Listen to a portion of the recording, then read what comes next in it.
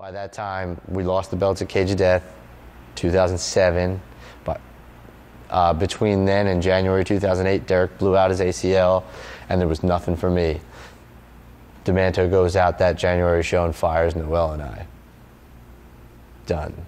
Just like that. So I'm, I'm at home, I'm reading the live results. So we're talking January 2008, whatever the fuck show that was called. I leave my buddy's house, I drive there, I was only about 30 minutes away. I'm like, the fuck's going on? I just read I got fired by Danny Demanto of all people. I'm like, John, what you, you know, what's going on? Like, why did you let him go out there and do that? But first thing first, when I walked in, Claude uh, Ruckus is about to go on, uh, perform, and he's like, "Don't go anywhere." He's like, "As soon as I get back here, we're we're handling this shit." So I waited for him.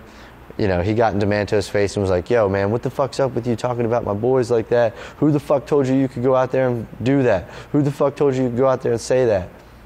Things trickle into the locker room. It's now a fucking triangular argument of John over here, Demanto over here, I'm over here. We're arguing.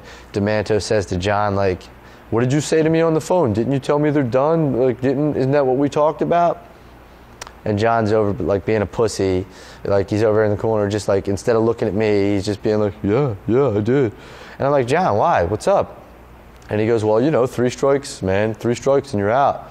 I'm like, okay, what are you talking about? He's like, well, you know, you kipped up uh, the headbutt, and you know, now we got all these problems in the locker room with you and Demanto, and it's all because of the girl.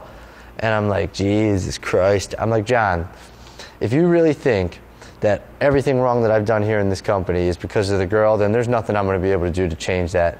And before I could even put a fucking period on my sentence, he's jacking me up.